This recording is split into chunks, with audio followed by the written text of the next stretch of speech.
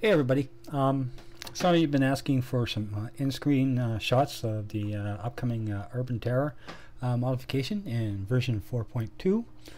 So I thought I'd go ahead and throw something out there to give you a better idea of, of, of just what's coming in in the way of uh, new animations.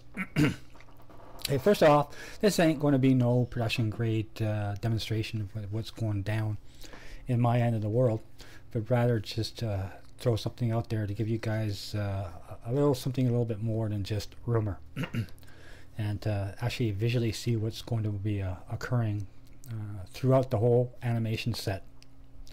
Uh, and as you can see, uh, Tom on our screen here is uniquely different than from before based on its key pose idle stance. This is normally the stance that you would have in any kind of di different situations uh, be it if you're walking, running, crouching, or whatever. this is going to be the key point from which all other uh, types of uh, animation is going to flow through.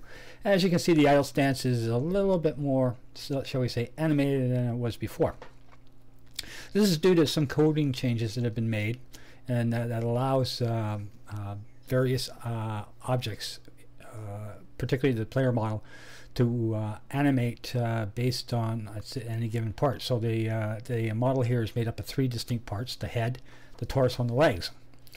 So each of these needs its own little animation sequence. The, the bug of it all, though, is that uh, because of the need for the character to move throughout the, the scene, uh, any type of animation that was originally applied to the torso would uh, be reset every time the character moved over, over an uneven surface. So it really made it look like a, a real chicken plucker type of uh, uh, animation. And it wasn't really you couldn't really dial in anything any smooth type of transitions.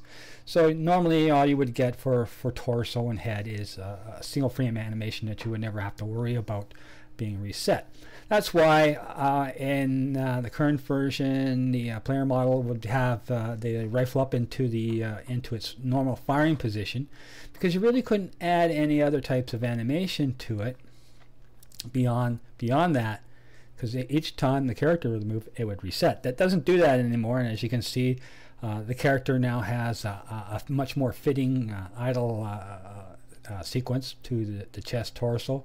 We're doing a little bit of heavy breathing because we are kind of running around. The head's a little bit more, a little bit more wobbly. Uh, there are plans of hopefully being able to get the head a little bit more involved, so we can add some expressions or the look of fear when they uh, when they get their ass toasted, that kind of thing. Uh, probably the, the, first thing you'll probably notice when you fire up the game is let me get is is is, is how the character now moves. So if we go into a run position, you can see that the, the weapon is much more uh, much more held much more comfortably and it's uh, there's a lot more energy into the character moving forward. The same thing with moving a little bit backwards. The uh, only real issue is a slight resetting of the torso, the torso cycle, each time you move forward. Uh, once again, remember this is in production kind of stuff, and this is going to kind of stuff that's going to be fixed. So if you uh, see something that you you think you'd like to point out, by all means do so. But be be sure that I am and we are, are aware of those uh, those uh, uh, little flaws within the animation. so this would be fitting for for a visual cue, cue that the character is just simply running around and moving normally from this idle position. Uh, but uh, we can step that up one a bit further based on, on the need for visual cueing from the player model by if we say for example go to the walk cycle you can see now that the, the, the character model will actually perform a little bit more, let's say, natural to what a, a, a, a walk should be. The character is a little bit more attentive, you know, scanning the horizon. So if you see somebody doing this, they're definitely walking around.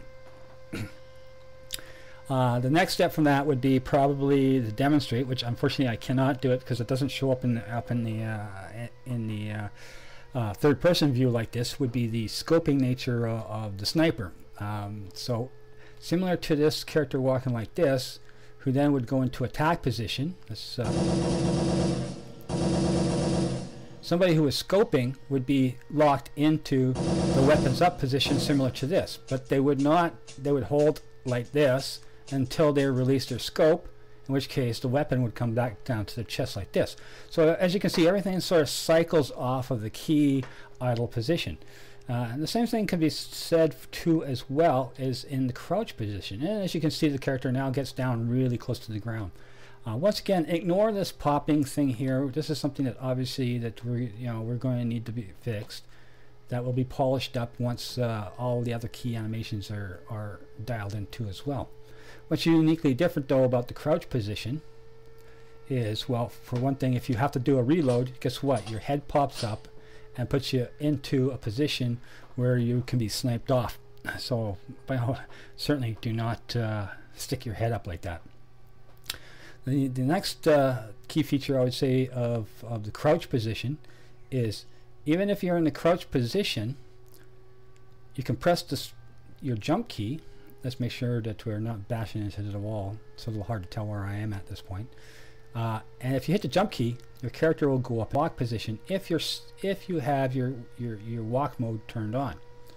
If we turn off our walk mode, we go back into the, into the running again, all the while still in the crouch position because if we release the space bar, in this case, which is my jump key, the character will pop down into the crouch position again. So you can do things like, uh, for example, in this position here, you can pop up, shoot, and pop right back down again.